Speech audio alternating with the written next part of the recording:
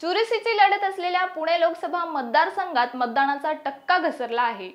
पुण्यात अंदाजे बावन्न टक्के मतदान झाले तर बारामतीमध्ये अंदाजे एकसष्ट टक्के मतदारांनी आपला मतदानाचा हक्क बजविला.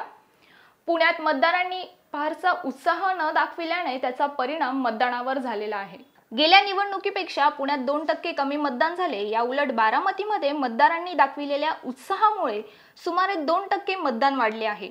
पुणे लोकसभा मतदारसंघातील मतदारांची संख्या वीस लाख चौऱ्याहत्तर हजार आठशे एकसष्ट आहे.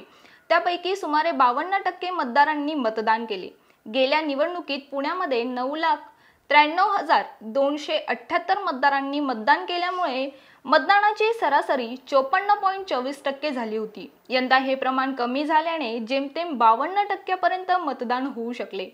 कमी झालेल्या मतदानाचा फटका कोणाला बसणार याबाबत उत्सुकता निर्माण झाली आहे. नाही पुणे जिल्ह्यात मतदानाची टक्केवारी जी आहे आता निश्चित आम्ही करणार आहोत. मला असं वाटते की आपल्याकडे त्रेपन्न ते पचपन्न टक्के या दरम्यान आपला मतदानाची टक्केवारी आहे.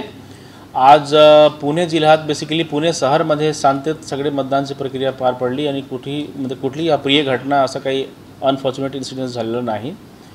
आपल्याकडे तक्रार पण कुठलाही सिरियस स्वरूपाचे किंवा गंभीर तक्रार आला नाही. एक दोन इशूज असा आहे की काही एक व्यक्ती असा सांगितला होता की आम्ही व्होट ज्या माणसाला करत होतो त्याला व्होट गेला नाही. पण तो तक्रार खोटे निघाला. कारण त्या ठिकाणी आम्ही त्याला टेस्ट व्होट करण्याची दिली होती संधी आणि टेस्ट व्होटमध्ये त्यांचा तक्रार खोटा निघाला. एवढेच इशूज आहे. यापेक्षा आपल्या शहरमध्ये काही जास्त इशूज नाही आहे. मात्र व्होटर लिस्टमध्ये काही लोकांचे मिसिंग नाव असं मात्र तीस पस्तीस लोकांचा तक्रार होता. बस हाच इशूज आहे. बेसिकली आपलं पूर्ण मतदान प्रक्रियामध्ये खूप खूप सुंदर पद्धतीने झालेलं आहे. काही अडचण दिसून येत नाही. मी असं बोलू शकत नाही की पुणेकर उदासीन आहेत. मी असं कसं बोलू शकतो? मी एवढे बोलू शकतो की मी थोडा अजून प्रयत्न करणार आहे.